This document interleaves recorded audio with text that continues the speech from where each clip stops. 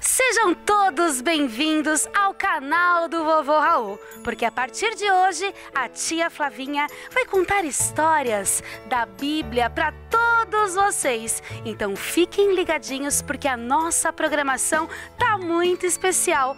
Hoje eu convidei dois amiguinhos muito queridos e eles vão contar essa linda história juntinho comigo. Bora lá? Estou tão feliz porque eu acabei de encontrar os meus amigos, o Cauezinho, a Tayla. E olha, hoje vai ser um dia muito especial porque a tia Flavinha vai contar uma história linda para vocês. Você gosta de ouvir histórias, Tayla? Eu gosto. E você, Cauezinho, me conta. Ainda mais quando é de Deus. Eu gosto muito. Ai, que lindo! E olha só, galerinha, porque nós vamos contar histórias da Bíblia toda semana. E sabe qual é o nosso tema de hoje? Hum, que será, Tayla? Davi e Golias. Você conhece essa história, Cauê? Aham. Mas tem gente que não conhece, então vamos lá?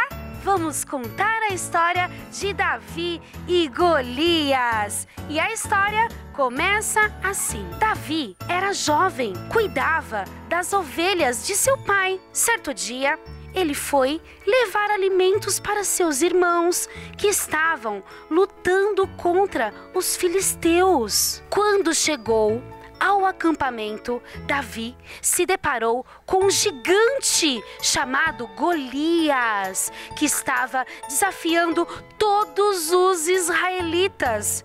Davi aceitou o confronto. O rei Saul não acreditou que Davi pudesse enfrentar o gigante Golias. No entanto, Davi já havia enfrentado um leão e um urso enquanto cuidava do rebanho de seu pai.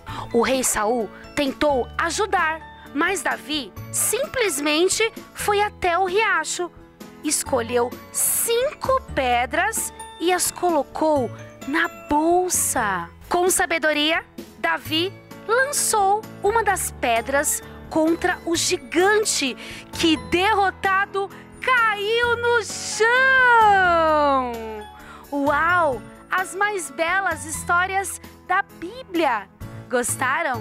Gostou, Tyler? Sim. Gostou, Cauêzinho? Sim. Então, galerinha, essa foi a nossa história de hoje, do nosso Super Kit As Mais Belas Histórias da Bíblia. E a semana que vem tem mais uma história muito legal. Então, fiquem ligadinhos aqui na programação do canal do Vovô Raul. Mas antes disso, a tia Flavinha hum, vai chamar aquele comercial que eu amo. Aliás, quem gosta de chocolate? Um comercial de Páscoa para todos vocês da Sodier Doces. Nessa Páscoa, a Sodier Doce está lançando novos sabores do seu tradicional ovo de colher. Tem muita opção, gente. Mas ó, garanta logo o seu, viu? Eu fui pedir a minha sogra uma colherada, ela me deu foi um coice. Bichinha é ignorante, viu? Quem quer ser que nem o rei Davi? Então vamos dançar!